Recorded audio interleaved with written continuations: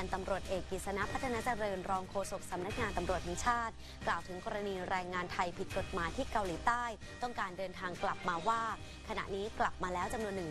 จำนวนหนึ่งแล้ว โดยเป็นการทยอยกลับ ซึ่งเจ้าหน้าที่ได้ประสานการทำงานอย่างเป็นระบบ ตั้งแต่การแยกหลุมจอดเครื่องบินโดยเฉพาะ แยกโซนไม่ให้ปะปนกับผู้โดยสารอื่น และผ่านการตรวจคัดกรองโรค และจัดทำประวัติอย่างละเอียดจากทีมแพทย์และเจ้าหน้าที่ควบคุมโรคระบาด เพื่อสร้างความมั่นใจให้ประชาชน จึงขอให้รับฟังข้อมูลข่าวสารจากทางราชการเท่านั้น เพื่อป้องกันความสับสนและเกิดการตื่นตระหนก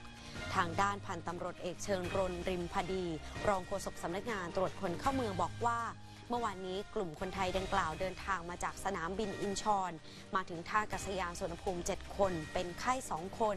จึงส่งไปเฝ้าระวังที่โรงพยาบาลเครือข่ายของกระทรวงสาธารณสุข แต่ยืนยันว่ามีเพียงอาการไข้ยังไม่ได้ติดเชื้อไวรัสโควิด -19 แต่อย่างใด